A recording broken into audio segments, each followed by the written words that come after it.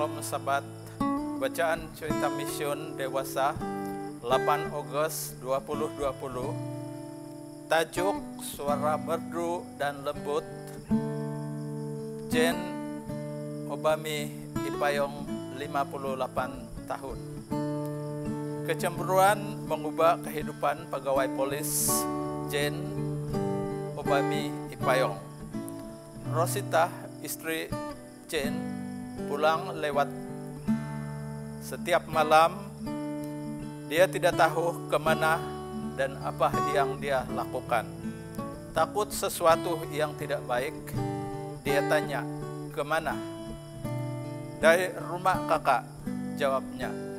Setiap kali ditanya, itulah jawabannya. Jane tidak yakin dengan jawaban itu. Dia meminta istri membawa ke rumah kakak.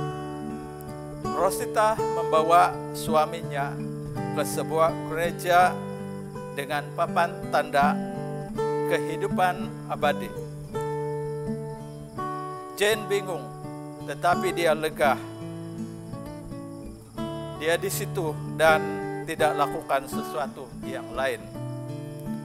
Gereja itu mengajar agama Kristen dan agama tradisional. Malam keempat, Jane diajak masuk oleh wanita pemilik bangunan itu. Jane masuk mengikuti kebaktian sepanjang minggu dan kemudian setiap hujung minggu dan dia diamanahkan sebagai pemimpin kemudiannya. Malang sekali, Rosita istrinya meninggal semasa bersalin. Dalam kesedihan, Jane menilai semula komitmen ke gereja itu. Dia berdoa, jika ini tidak benar, tolong saya untuk meninggalkannya dengan mudah. Jane tidak lagi ke situ.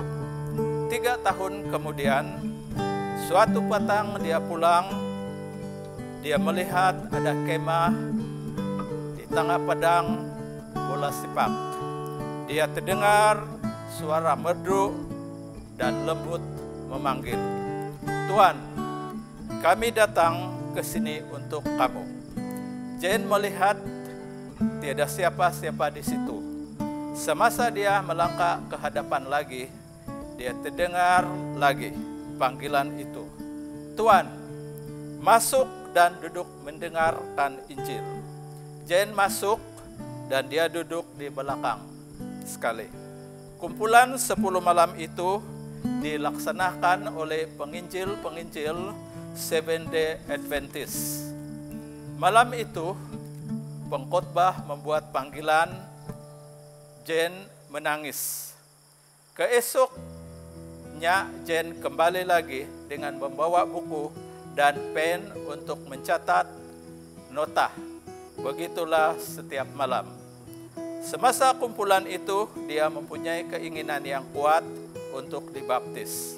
Saya tidak tahu tentang agama kamu, tetapi sepanjang masa saya mempunyai keinginan untuk dibaptis, katanya. Tuhan telah memanggilmu dan ikutilah pembaptisan, kata penginjil itu. Jane dibaptis. Kini Jane anggota yang sangat aktif. Suara itu masih dia ingati. Kami datang ke sini untuk kamu. Masuk dan duduk. Iya, Tuhan datang ke dunia ini untuk kita semua. Bagi keselamatan dan kehidupan kekal pada kedatangannya yang kedua kali tidak lama lagi.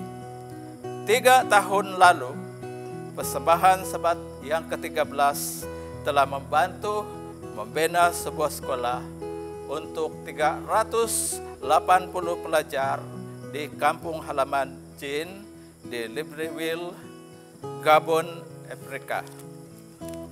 Tuhan memberkati kita dengan persembahan sebat ke-13 pada kuartal ketiga tahun 2020 ini untuk membina sekolah di Guyana dan di Liberia,